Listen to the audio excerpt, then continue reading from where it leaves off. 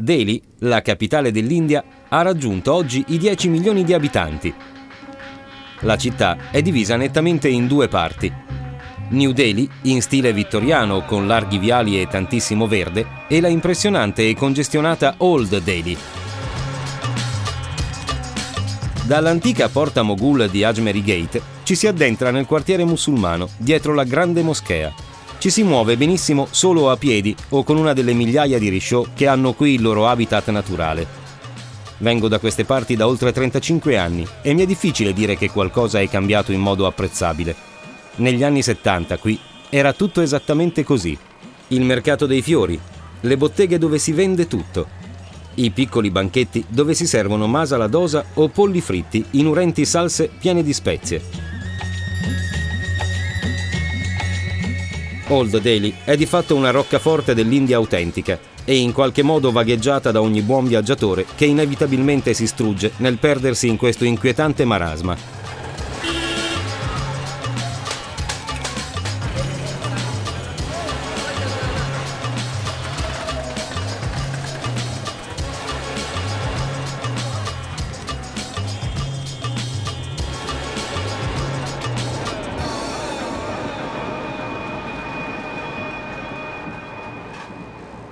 Ogni giorno milioni di persone si riversano sui treni, autobus di linea, carretti, scooter, biciclette dove raggiungere il lavoro, i parenti, le feste, i romitaggi e le mete degli innumerevoli pellegrinaggi che si compiono in India. La rete ferroviaria indiana, di britannica memoria, raggiunge capillarmente e con grande puntualità ogni anfratto del grande paese. E le ferrovie sono un mondo a sé stante, dove vivere un ulteriore viaggio all'interno del grande viaggio.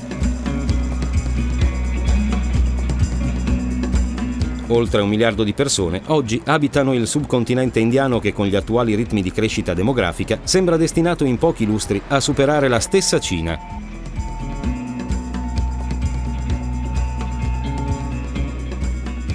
Il paesaggio languido dell'India rurale corre lento e riposante all'orizzonte.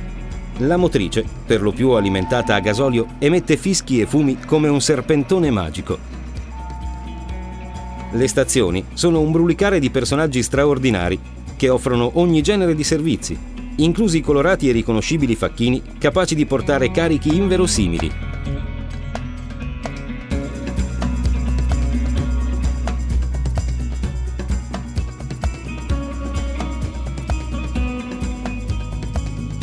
Le strade dell'India, sempre più trafficate, sono dei veri e propri videogames dove il rischio di incidenti è continuo proprio per l'estrema varietà di veicoli che vi si possono incontrare. Autobus, camion, biciclette, carretti e scooter risciò sono la norma. E sempre di più, le due ruote costituiscono il mezzo ideale per spostarsi velocemente e senza intoppi in questa pittoresca roulette russa.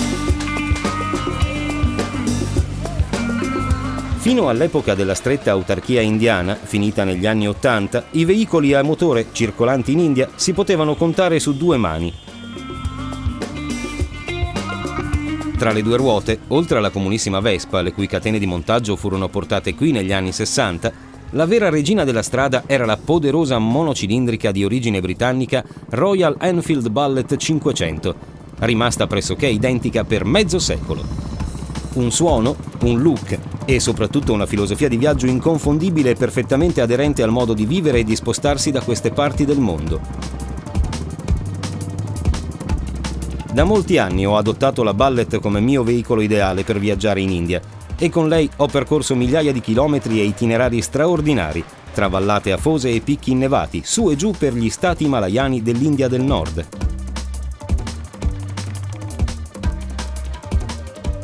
Sulla strada per Haridwar, la città santa dove il fiume Gange esce dalle montagne per iniziare il suo corso in pianura, ci imbattiamo in uno degli emblemi di questo mondo in rapida mutazione. Una cava di argilla nel letto di un fiume vede la presenza contemporanea di manodopera umana, tra cui le leggiadre e incredibilmente eleganti donne indiane, e animale, con questi nobili e silenziosi bufali in spietata e soccombente concorrenza con i primi trattori di proprietà di qualche padroncino, fautore di prossimi sconvolgimenti sociali ed economici.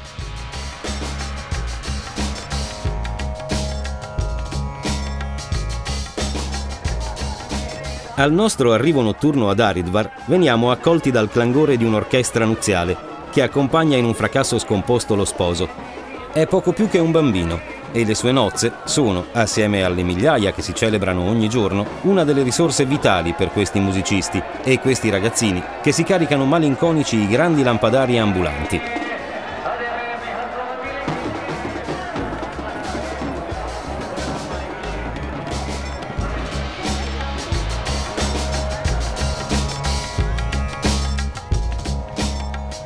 Cuore religioso di Aridvar, che significa Porta Santa, è il grande complesso di templi e gradinate chiamate Archi Perigat. Qui, un canale proveniente dal Gange, che scorre violento e limaccioso a poca distanza, è stato convogliato secoli fa in mezzo a questo groviglio architettonico di templi e santuari. La cerimonia del fuoco sull'Archi Perigat sembra oggi più affollata del solito. Del resto qui, tutti i pomeriggi, è un convenire di devoti per le sacre abluzioni e l'affido delle sacre fiammelle votive, come richiesta di grazia, al grande fiume. Dagli altoparlanti, ad un volume quasi fastidioso, si levano canti e invocazioni in tutta la vasta area del Ghat, mentre tutte le campanelle dei templi, come impazzite, vengono percosse all'unisono dalla folla esaltata. Mantra corali si levano a ondate.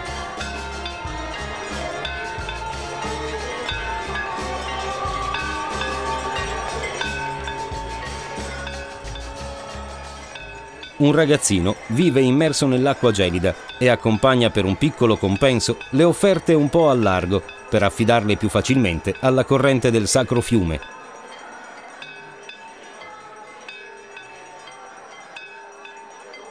Fra la gente si aggirano personaggi muniti di varie tessere o distintivi, appartenenti a congregazioni religiose induiste, che chiedono offerte ma rilasciano regolare ricevuta. È un delirio di suoni, fumi, fuochi, acqua che corre e che riflette i lumini, che continuamente prendono il largo accompagnati dalle devote mani dei sacerdoti. In mezzo al caos più totale si levano grandi fiamme liturgiche, che vengono agitate da quattro o cinque bramini in prossimità della riva del Gange. Fuoco e acqua, gli elementi della purificazione nel rituale induista, si incontrano da secoli e sempre allo stesso modo sulle gradinate di questi fiumi sacri.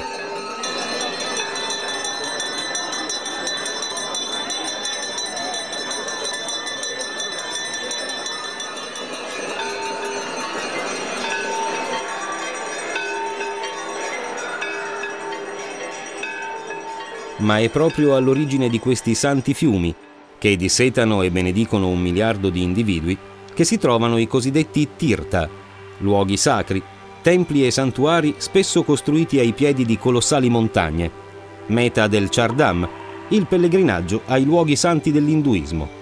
Lassù vogliamo andare, ai confini col Tibet invaso e occupato dalla Cina negli anni 50.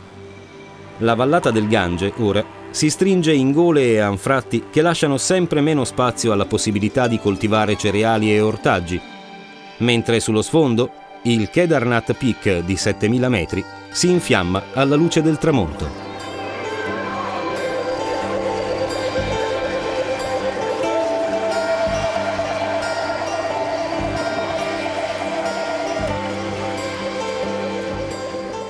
A Gupta Kashi arriviamo di notte giusto in tempo per ascoltare il bramino del Tempio nella sua preghiera serale. Sulle alte vallate, ai piedi dei picchi innevati dell'Himalaya, andiamo alla ricerca di luoghi ancora più remoti e nascosti. Un piccolo villaggio montano fa da cornice al meraviglioso tempio in stile Shikara di Trijuji Narayan, che si narra abbia ospitato le nozze tra Shiva e Parvati. Qui, ogni tanto, coppie di fidanzati vengono a giurarsi amore eterno, nella dolce e ingannevole illusione che rende uguali tutti gli esseri della terra.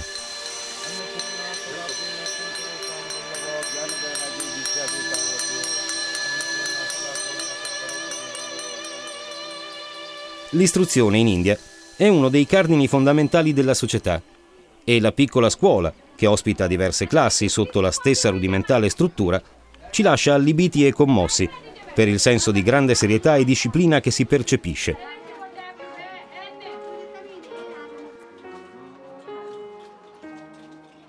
La nostra presenza non deve distrarre i piccoli alunni, che hanno nei volti già l'espressione del loro essere adulti.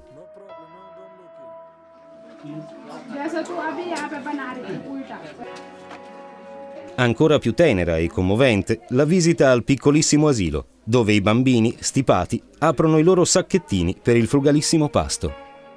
Inevitabile pensare alle problematiche delle nostre scuole, i finanziamenti, le mense, i bidelli, le segretarie, i docenti,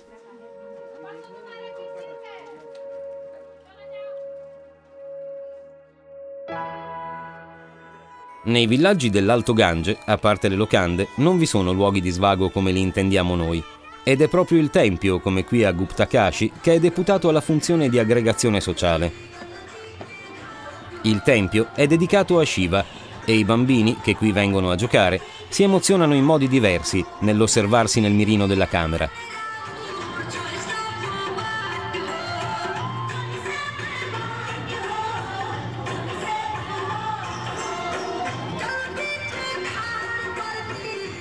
Qualcuno prega e chiede grazie attraverso offerte dinanzi alle due fonti che simboleggiano le sorgenti del Gange e dello Yamuna, mentre il vecchio Sadhu, all'ingresso del tempio, si fa la sua fumata più o meno rituale.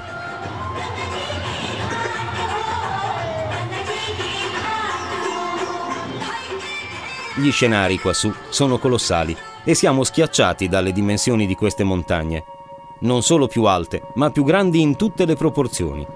Qui tutto è gigantesco, mentre piante tropicali hanno come sfondo le nevi eterne.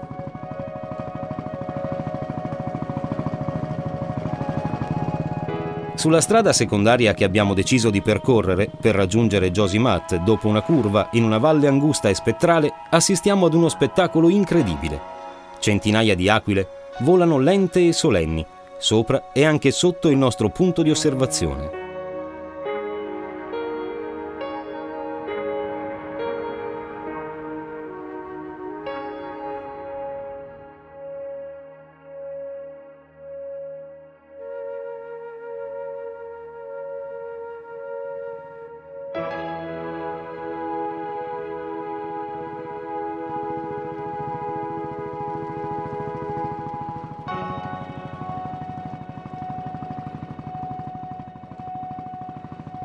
Sullo sfondo il Kedarnath Peak e tutto il santuario di montagne che circondano il Nanda Devi, la montagna più alta dell'India.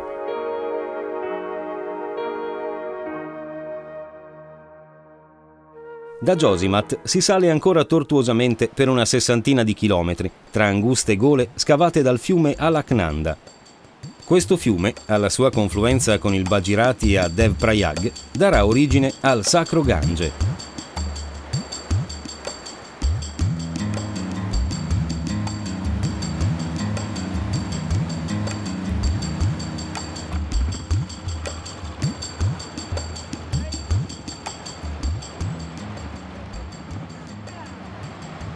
Il santuario di Badrinath è sicuramente il più importante tra quelli che compongono il Chardam.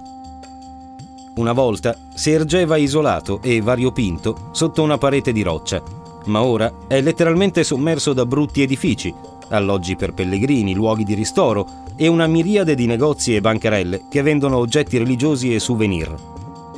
Ciò nonostante, il luogo trasuda magia e spiritualità frammiste ad una strana forma di allegria che pervade coloro che arrivano devoti fin quassù.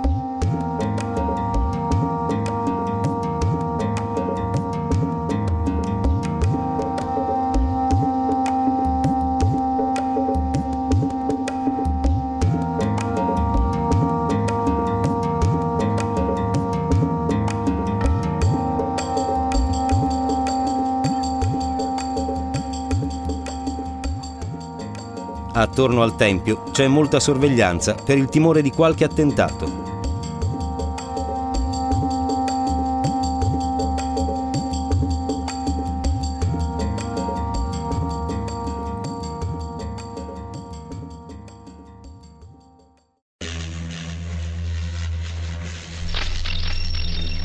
Qui attorno, l'Himalaya del Garhwal fa da sentinella al confine col Tibet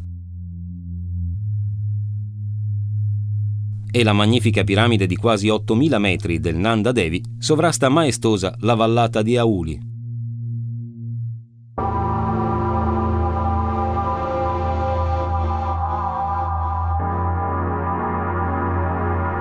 A 5 km da Badrinath finisce la strada carrozzabile e il villaggio di Mana è l'ultimo avamposto del mondo indù. Da qui in avanti solo sentieri fino agli alti valichi per il Tibet, in un piccolo tempietto sopra Mana, un gruppo di donne celebra una piccola ricorrenza religiosa. Si divertono moltissimo al nostro apparire un po' goffi e impacciati e a scambiare delle battute con noi. Nei loro volti si intravede già il tratto mongolico, ma sono di religione indù. E al loro desco hanno invitato un sadhu, che consuma in disparte le sue lenticchie e riso.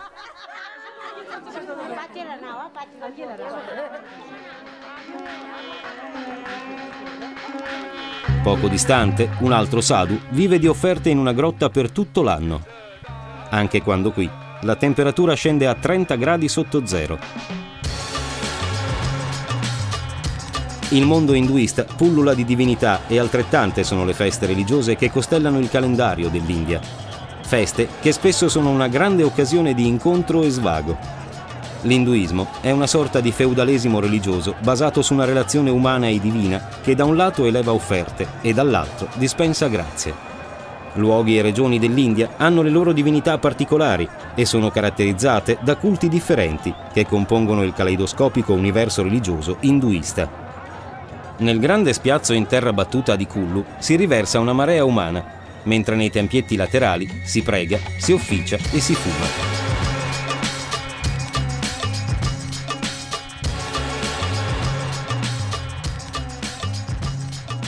Nella valle di Kulu e di Manali, una divinità molto popolare è la dea Adimba. Qui, uno dei festival più singolari dell'induismo, il Dussera, assume una liturgia ed una spettacolarità particolarissime. Già da giorni, lungo le strade che portano a Cullo, si incontrano piccole processioni provenienti dai villaggi limitrofi. Sono delegazioni che portano al Dussera le immagini della dea conservate nei piccoli templi minori della valle. Anche qui, il significato ultimo del festival è la celebrazione del bene, che trionfa sul male, rappresentati dal leggendario eroe Rama e dal demone Pavana. Si calcola che per il Dussera arrivino a Kullu circa 200 statue di dei, molti di quelli che trasportano le divinità sono forse sotto l'effetto di qualche sostanza e fa impressione vedere gli sguardi esaltati di questi ragazzi che vivono le festività religiose come i pochi momenti di gloria nella loro faticosa e reclusa esistenza tra le lontane vallate. Il grande spiazzo di terra battuta è ancora agibile ma si percepisce come un rumore di fondo che diviene quasi boato, mentre una fiumana di gente proveniente da ogni dove inizia ad occupare qualunque angolo libero. Osservo il carro da vicino e noto che le pesantissime ruote di legno sono volutamente spigolose e irregolari, come se il pur breve viaggio della dea Adimba dovesse costare penosi sacrifici. Sono come travolto da questa ritualità pagana ed arcaica, paurosa ed esaltante allo stesso tempo.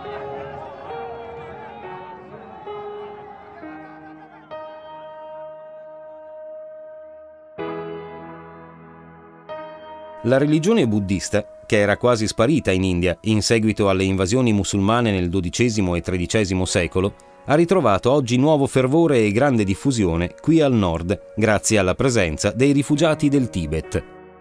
Fuggiti al seguito del Dalai Lama nel 1959, dopo l'insurrezione di Lhasa contro i cinesi occupanti, hanno stabilito qui ad Aramsala il loro quartier generale. Qui, nella piccola Lhasa, il Dalai Lama e la sua gente mantengono in vita le tradizioni, l'arte, la medicina, la religione del Paese delle Nevi.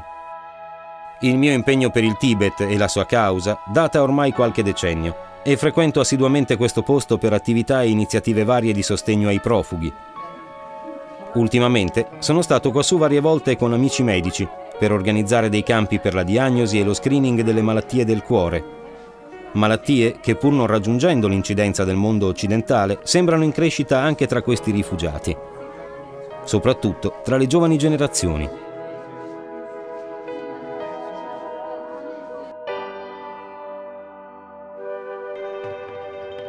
Sopra Dharamsala c'è il Tibetan Children Village e ogni anno, per la festa della fondazione di questa istituzione, che presiede all'educazione dei bambini tibetani, il Dalai Lama arriva quassù tra canti e preghiere per incontrarsi con le generazioni che con grande fatica terranno in vita la cultura di questa straordinaria nazione. Oggi poi è un giorno ancora più speciale perché Sua Santità è appena stato dimesso dall'ospedale di Delhi dopo un piccolo intervento. Quanto basta per riempire di lacrime di commozione la sua gente, che oggi lo attende con particolare trepidazione. Hello.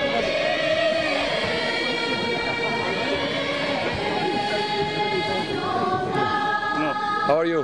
Fine, fine, I fine. see, I see you. Now fine. fully recover. Thank you very much. Thank you. Dinanzi al loro leader politico e spirituale, i ragazzi del Tibetan Children Village danno il meglio di loro stessi con saggi, sfilate, recite e canti, dimostrando tutta la serietà, il rigore e l'efficienza delle loro strutture educative.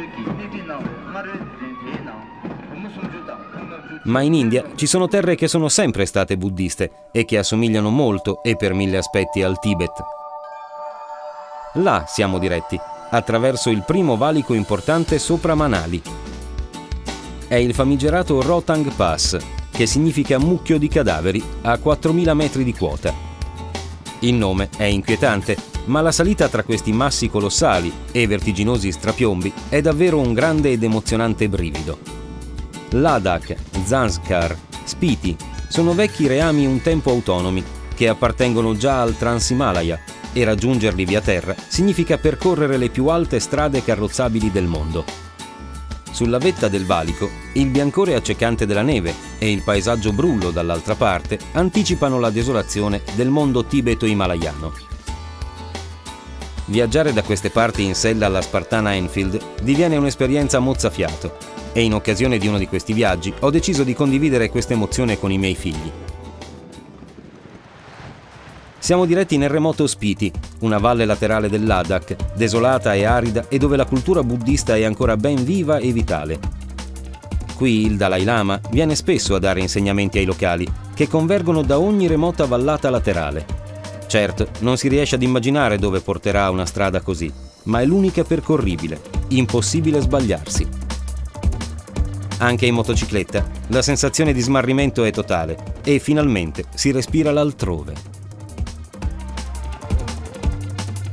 Le moto fanno il loro dovere, ma qui la media di percorrenza non supera i 20 km all'ora. Lungo la strada si fanno rari incontri con pastori che ci riportano a immagini bibliche.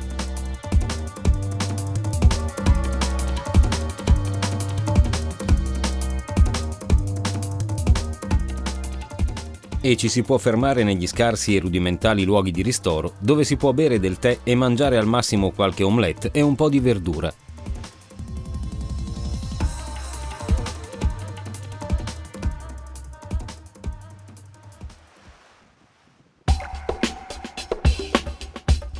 Come scrisse Tucci negli anni 30 di queste regioni, in questa terra desolata siamo come smarriti in un'afona solitudine. In alcuni momenti sembra di essere proprio diretti verso la luna. Difficile immaginare qualcosa di più desolante e allo stesso tempo esaltante.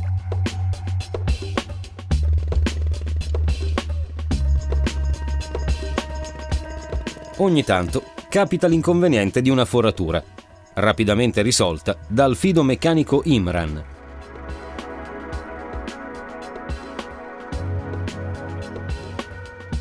La valle di Spiti si apre dopo il valico del Kunzumla, 4500 metri di altezza.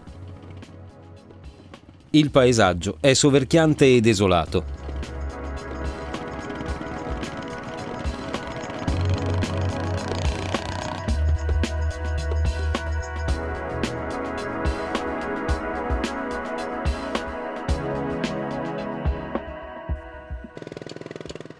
Solo bianchi monasteri, come questo bellissimo di Chi, e i piccoli villaggi ai loro piedi, ci ricordano che queste terre sono abitate.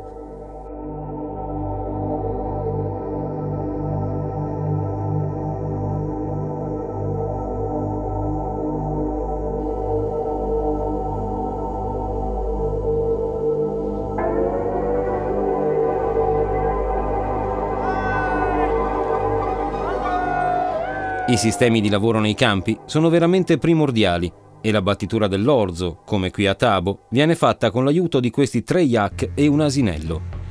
Sono sistemati per dimensioni decrescenti verso il centro e calpestano l'orzo.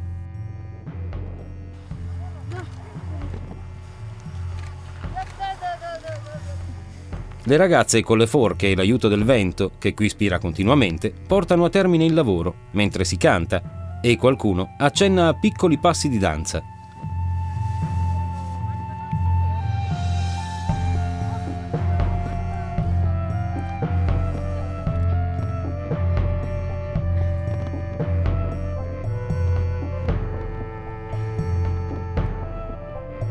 Il raccolto è una festa in ogni parte del mondo.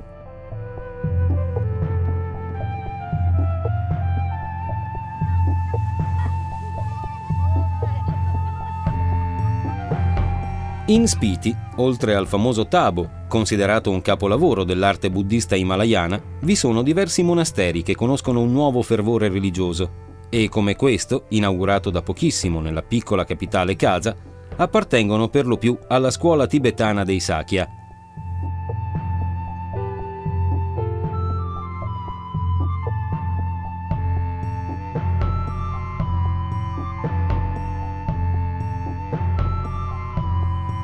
Le strade in Himalaya sono sempre piene di sorprese e a volte ci si parano dinanzi scene surreali. Qui, a pochi chilometri da Keilong, vediamo una grande animazione su un ponticello tutti indicano in basso. Un piccolo furgone bianco è precipitato nel fiume in piena. Si sposta ogni tanto spinto dall'impetuosa corrente. L'autista è smarrito e terrorizzato. Di lì a poco una fune provvidenziale lo salverà. Il furgone conoscerà una diversa sorte.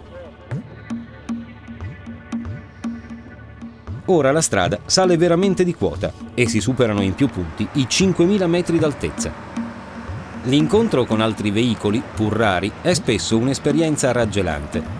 Le geologie disegnano architetture folli, l'aria è trasparente.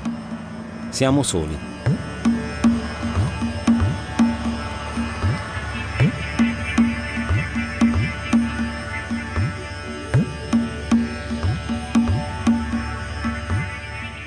Ogni tanto il limo dei torrenti, portato sulla strada dalle brevi ma violente piogge dell'estate, si trasforma in una farina impalpabile che mette a dura prova le motociclette, che ne escono comunque bene grazie alla loro leggerezza.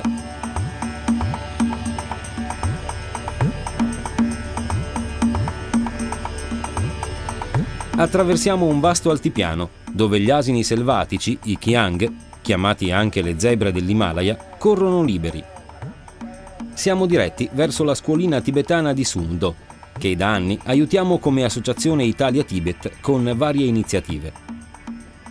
Non l'abbiamo mai vista e questa mi è sembrata una buona occasione per farci una visita. Eccola, è in un luogo incredibile, ai confini del mondo, e oggi i ragazzi non ci sono. Sono a Leh, al villaggio di Choglamshar, per degli insegnamenti religiosi li troviamo in piena ricreazione tra canti e balli. Sono fantastici e dopo averci cantato un po' formalmente una canzoncina popolare tibetana, si uniscono al nostro intrattenimento musicale improvvisato per loro.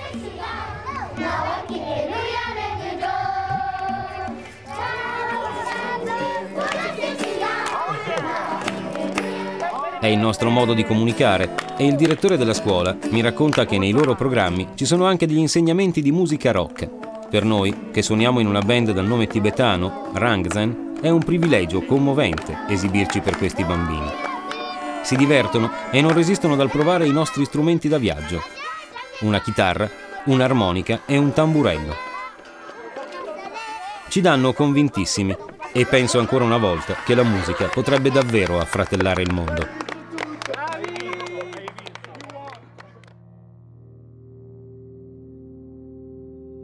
Leh è la struggente capitale del Ladakh, una vera città centrasiatica a 3600 metri di quota e adagiata ai piedi del grande palazzo reale del Gyalpo, costruito nel XVI secolo. Quando venni qui la prima volta, alla fine degli anni 70, la città era priva di corrente elettrica e di fatto viveva in una sorta di medioevo intatto. Con l'apertura del turismo nel 1975 e la susseguente crisi del Kashmir dovuta a tensioni separatiste e interreligiose, Leh è di fatto divenuta la capitale turistica del Jammu Kashmir, surclassando la splendida Srinagar, dove il turismo purtroppo è crollato, con gravi conseguenze sull'economia locale. Molti kashmiri hanno aperto esercizi e attività a Leh e questa presenza, assieme ai numerosi militari indiani nell'area, ha causato non poche tensioni e squilibri. Fuori Leh, il paesaggio e l'ambiente si ricompongono e come qui a Cemre, gli emblemi della vita quotidiana arcaica del vecchio Tibet ricompaiono composti e quasi incontaminati diversi monasteri hanno aperto un piccolo museo al loro interno e i monaci sembrano totalmente indifferenti alle presenze degli occasionali turisti.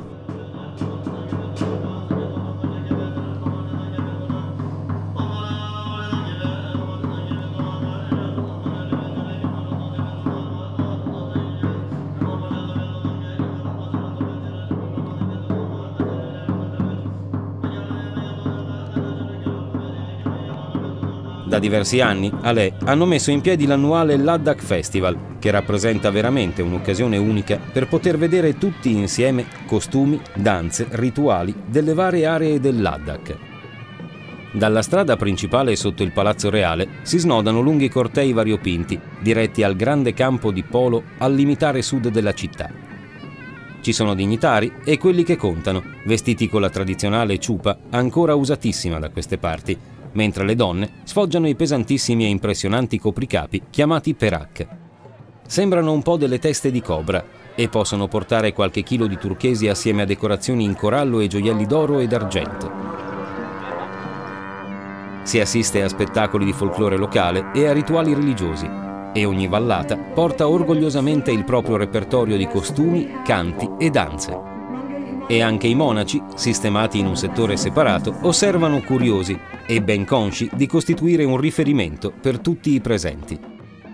L'orchestra di tamburi e oboi scandisce incalzante il ritmo delle danze, mentre cori apparentemente dissonanti contribuiscono allo stordimento generale.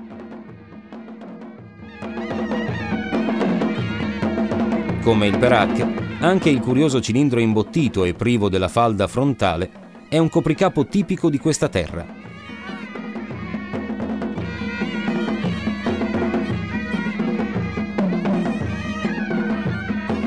Le danze si susseguono per tutta la mattinata, mentre il giorno dopo, nel cortile del monastero di Leh, i monaci di Trak Tok eseguono delle suggestive danze rituali, i cham, indossando varie maschere, tra cui queste in ottone dorato, che raffigurano le dakini, principio dell'energia femminile nel buddismo tibetano.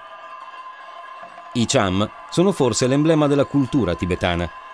Sono momenti magici in cui il popolo dei fedeli ha un contatto quasi ravvicinato con il mondo della trascendenza spirituale. Anche se nel Ladakh non piove quasi mai, può capitare di trovarsi sotto un violento e improvviso monsone che fa precipitare le temperature.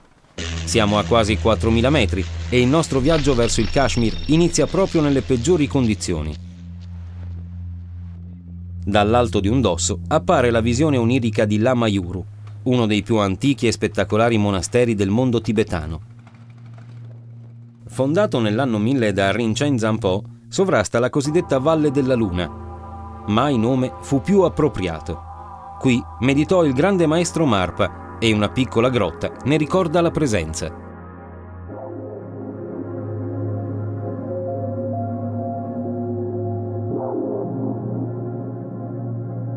La burrasca ha imbiancato le cime dello Zanskar con la prima neve. Anche sulla sommità del Fatulà la spolverata ha abbassato le temperature sotto lo zero.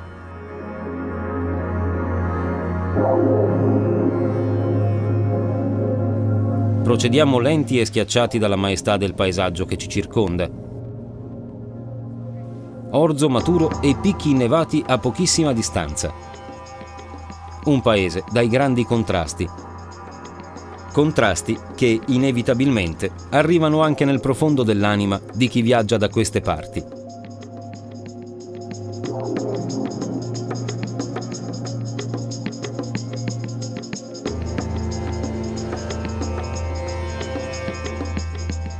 Il Buddha di Mulbek costruito nel secondo secolo, è il vero confine tra il mondo buddista e la terra strettamente musulmana del Kashmir. Ora, dopo l'ultimo valico, si dischiudono boschi e conifere e si arriva nella magica Srinagar, la Venezia dell'Himalaya. Srinagar è una città unica al mondo. A 1800 metri di altezza è cresciuta su isolotti e canali su due laghi, il Dal e il Nagin. Il traffico è affidato alle lente e pittoresche scicare, specie di gondole che solcano silenziose e lievi i giardini e gli orti di cui vive parte degli abitanti di Srinagar.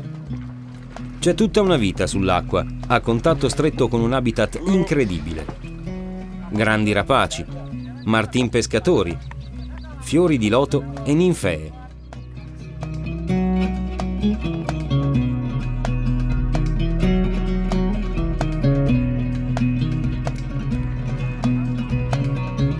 Stiamo remando lentamente verso la moschea di Hazrat Bal, che i locali chiamano orgogliosamente il nostro Taj Mahal.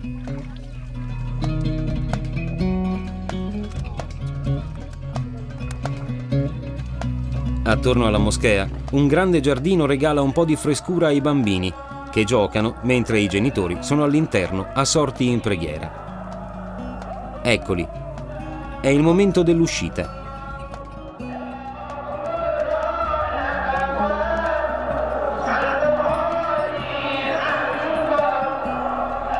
Tutto intorno alla moschea si sviluppa un quartiere mercato.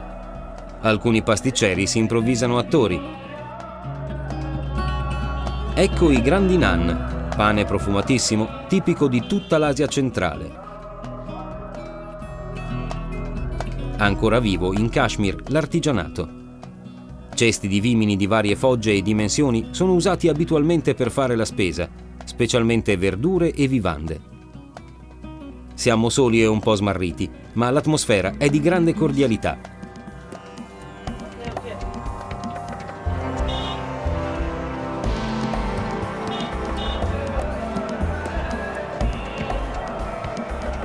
Certo, dopo 25 anni, trovo la città pesantemente segnata dalle tensioni politiche. Non si vede un turista se non qualche indiano, posti di blocco ovunque soldati armati, blindati, reticolati. Inutile far finta di nulla. Srinagar non è più quella di un tempo e la popolazione è sfinita e logorata da queste tensioni.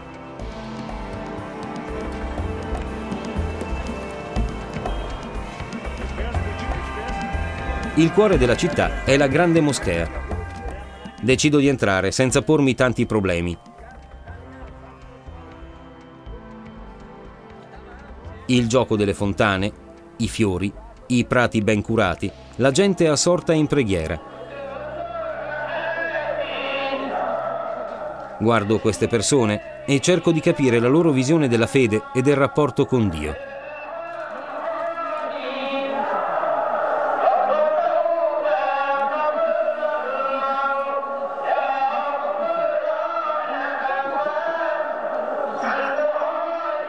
Poco distante mi fermo in un'altra piccola moschea, dove un artista sta completando il restauro del portale dipinto secondo la locale tecnica del paper maci.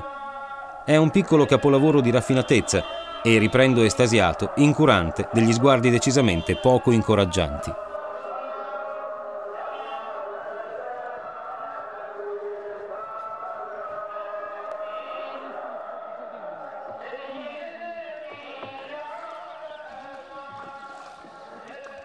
È l'alba e mi lascio trasportare in barca al Vegetable Market. Era uno degli appuntamenti tradizionali a Srinagar, il mercato della verdura e dei fiori, galleggiante si intende. Nel buio, prima del sorgere del sole, ci si muove furtivi, tra ninfee e fiori di loto, fino ad approdare in una radura lacustre, dove pian piano affluiscono da ogni dove vecchie e affusolate sciccare, cariche di ogni ben di Dio vegetale. Dal silenzio della notte, in poco tempo è tutto un brusio di scambi e contratti, con la frutta e le verdure che passano da una barca all'altra. Ecco, qui davvero non è cambiato nulla. È l'ultima immagine che mi porto dentro di questo lungo peregrinare nel nord della grande India. mi assalgono ricordi e lo struggimento della vita che scorre, da un passato sempre più lungo e verso un futuro sempre più incerto. Qui, adesso, il tempo si è fermato.